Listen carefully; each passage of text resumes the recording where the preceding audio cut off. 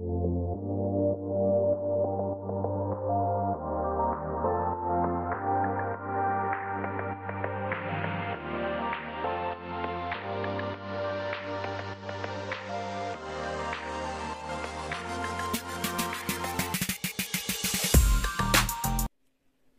है जो वो कहना चाहते हैं, लेकिन कह नहीं पा रहे हैं? ये रहेगा आज का टॉपिक कलेक्टिव रीडिंग रहेगा. टैरो में से पाँच कार्ड लेंगे और ओरेकल में से दस कार्ड शुरुआत करते हैं टारो से। ऑलरेडी मैंने कार्ड शफल करके रखे हैं।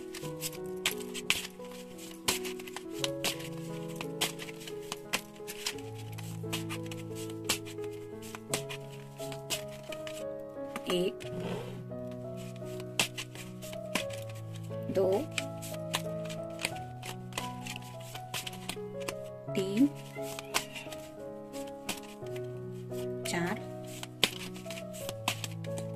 गए पाँच।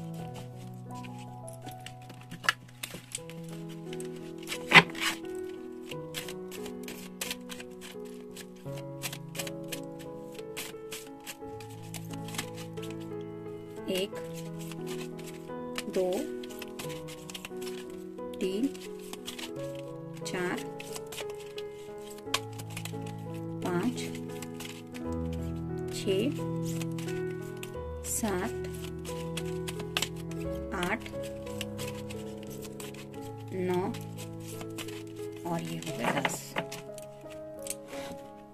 एक लव मैसेज भी देख लेते हैं।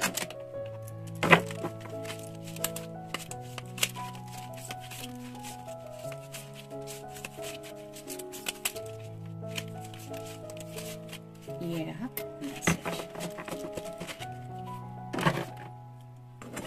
तो ये मिलते कार्ड देखते हैं रीडिंग क्या है। ओहो, पहला ही कार्ड है डेविल का तो काफ़ी ज़्यादा पैशनेट थिंकिंग चल रही है, बहुत ज़्यादा आपके प्यार में तड़प रहे हैं। जैसे यहाँ पे आप देख सकते हैं, एक वायर है तो ऐसे आपके प्यार में ऑलमोस्ट जल रहे हैं। और ये पैशनेट फीलिंग्स है, काफ़ी ज़्यादा। तो पैशन तभी इंसान फील करता है जब उसे सेक्सुअल थोड़ा सा कुछ अट्रैक्शन हो। तो इस पर्सन के दिल में आपके लिए काफ़ी ज़्यादा अट्रैक्शन है, और वो क्यों है? क्योंकि ये आपसे कहीं ना कहीं ऐसे इमोशनल लेवल पे कनेक्ट हो चुके हैं। मतलब आपसे बात हो या ना हो, ये आपके बारे में सोचते रहते हैं। जैसे यहाँ पे भी आप देख सकते हैं, इस डेविल का जो चेहरा है वो भी सोच में डूबा हुआ है। तो ये पर्सन काफ़ी ज़्यादा आपके बारे में सोचते हैं, शायद ये आपको कभी वो बता नहीं पाए। मतलब I am thinking about you I am continuously thinking about you इन दोनों बातों में काफ़ी ज़्यादा फ़र्क होता है। तो ऐसा ही शायद इस इंसान के साथ है।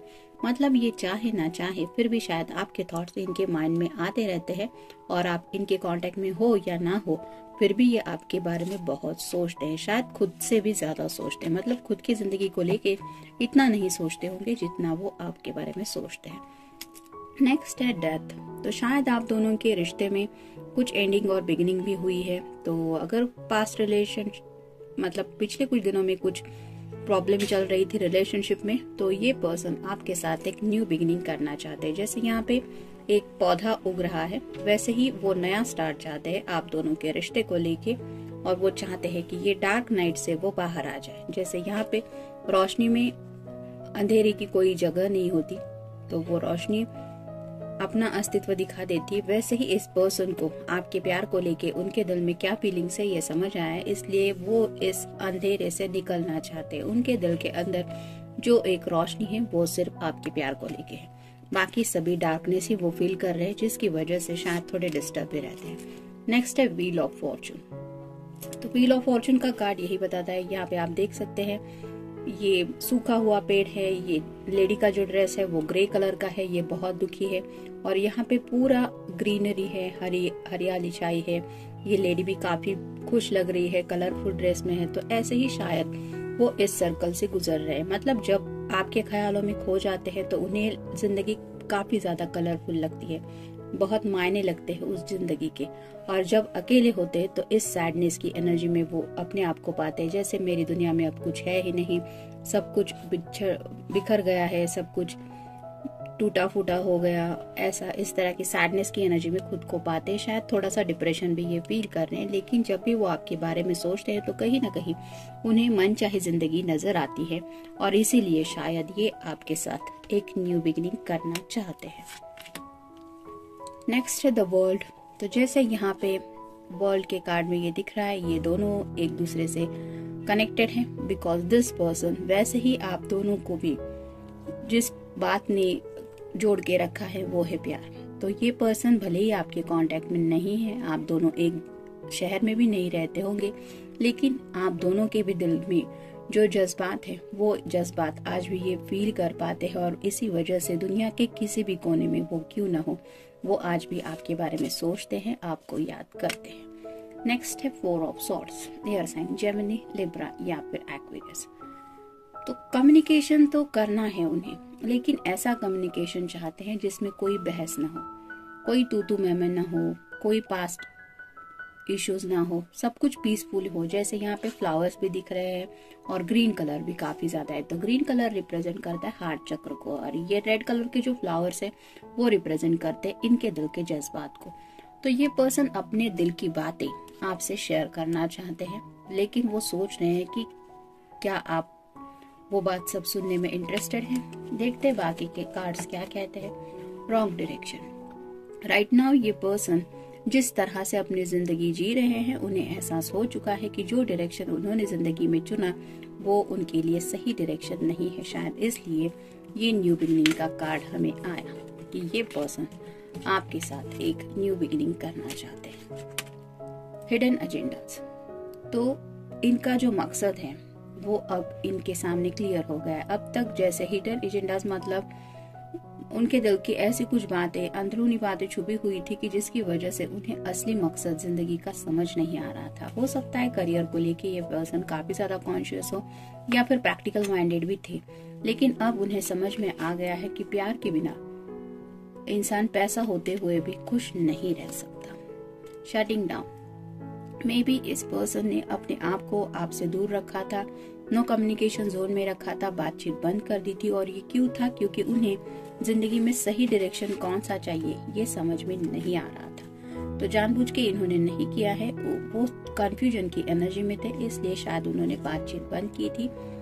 पास्ट एक्शन तो अपनी पास्ट एक्शन के बारे में वो सोचते रहते हैं, किस तरह से उन्होंने खुद ही अपने आप को इस सैडनेस की एनर्जी में डाला, ये सोच के उन्हें पछतावा होता है।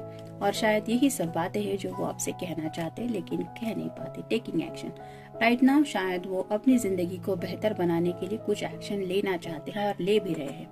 जैसे यहाँ पे व्हील ऑफ़ फॉर्चून का कार्ड अगर हम देखें तो सेकंड में समय बदलता रहता है। हमें सिर्फ़ सही डायरेक्शन की ज़रूरत होती है। जैसे अगर आगे खाई है तो आगे चलते जाने में कोई समझदारी नहीं होती। वहाँ से विद इन सेकेंड टर्न लेने से हम अपने आप को सेव कर सकते हैं। और ऐसे ही शायद एक्शन ये पर्सन ले रहे हैं।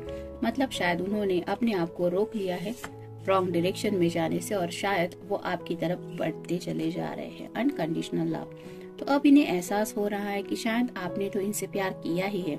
लेकिन इस पर्सन के दिल में भी आपके लिए जो प्यार है, वो अनकंडीशनल है। ईगो हो सकता है इनके ईगो की वजह से कुछ प्रॉब्लम्स आए थे इन पास्ट इसीलिए शायद ये सब उन पास्ट एक्शंस के बारे में सोचते रहते हैं। ईगो ऐसा होता है कि जो प्यार को भी हराने की कोशिश करता रहता है, लेकिन जहाँ पे प्यार सच्चा होता है अनकंडीशनल होता है, वहाँ पे आफ्टर ऑल जीत प्यार की ही होती है और यही एहसास शायद इस पर्सन को अब हो रहा है। इस वजह से उनके ईगो के सामने उन्होंने अब शायद कुछ ईगो के अगेंस्ट एक्शन ली है, अपने ईगो के अगेंस्ट इनर वॉइस तो अपने दिल की आवाज़ सुन रहे हैं और ये दिल अब उन्हें बता रहा है कि वो अनकंडीशनल प्यार करता है आपसे।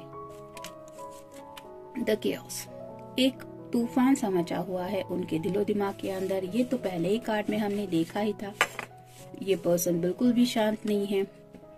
इस तरह का उनके जज्बातों का हाल है कि वो अपने ही अंदर अंदर मतलब जल रहे हैं जैसे आपके प्यार में।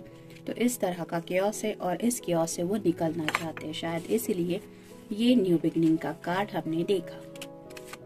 अप्स एंड डाउन तो काफ़ी शायद अप्स एंड डाउन चल रहे हैं इस पर्सन के लाइफ में, या फिर हो सकता है कि आपसे जब से दूरियाँ मिली है, तब से इस पर्सन ने काफ़ी ज़्यादा अप्स एंड डाउन फील किए हैं और इन्हें काफ़ी कुछ समझ में आ गया है कि ज़िंदगी इन्हें क्या समझाना चाहती है। देखते उनकी तरफ़ से लव मैसेज क्या है। I love you because you can talk to me for hours and never get bored with me तो इस पर्सन को अब जाके कहीं ये एहसास हो गया है कि वो कंटिन्यूसली शायद आपसे बातें करते रहते थे, घंटों तक बातें होती थी, लेकिन कभी भी आपने उन्हें जरा भी नहीं रोका। और ये क्यों हुआ? क्योंकि आपने अपना वक्त दिया उनको, उनके प्रॉब्लम्स उनके हालात समझने की कोशिश की। और जब अब इस पर्सन की ज़िंदगी में अप्स एंड डाउन आ रहे हैं तो शायद उनकी साइड में ऐसा कोई भी नहीं है जो उनकी बात को समझे, सुने, या फिर उनको एक दिलासा दे कि डोंट वरी तुम इस प्रॉब्लम से निकल जाओगे या निकल जाओगे। और तब उन्हें एहसास हो रहा है कि आपके साथ उनका जो डिस्कशन होता था, जो भी वक्त उन्होंने बिताया आपके साथ, वो कितना कीमती था। शायद इसी वजह से आप उन्हें अनकंडीशनल लव की कीमत समझ में आ गई है और शायद यही बात वो आपसे करना चाहते हैं। ये था रीडिंग मिलते हैं नेक्स्ट रीडिंग में। Till then take care